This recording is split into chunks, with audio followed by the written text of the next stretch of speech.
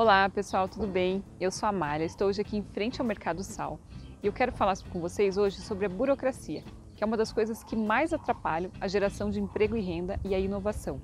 O melhor programa social que existe é o emprego. Não é à toa que nos países onde a qualidade de vida é melhor, são os países menos burocráticos, onde é mais fácil empreender, onde é mais fácil gerar emprego e gerar renda. E é por isso que esse é um dos meus compromissos com você como vereadora.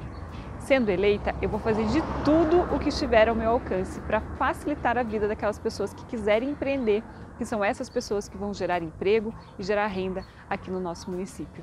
Se você quer isso também, então no dia 15 de novembro, vote Amália Tortato 30234.